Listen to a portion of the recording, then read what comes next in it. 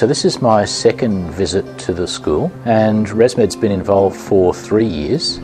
So it's been fantastic coming along last year and seeing the school, and at the event, I think they turned the first sod of soil. And now there's a whole playground area with a, a great little bike track for the kids, and it looks like some uh, you know stop signs and a shed for the bicycles and so on. So it's fantastic to see you know, a bit of open space turned into something that could be exciting for the kids. The kids get to learn to ride on a path. There's some stop signs, some pedestrian signs.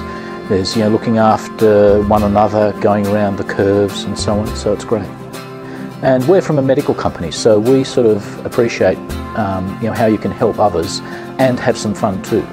I'm working on increasing ResMed's contribution to the event. Um, each year we've managed to increase, you know, incrementally and do, do better each time and so it's really heartwarming to see the, the word around the company is getting out and uh, spectacular to see that such progress has been made. And for a relatively small amount of effort on, it, on the people's part raising money, it makes such a difference to the kids. So it's really heartwarming to see.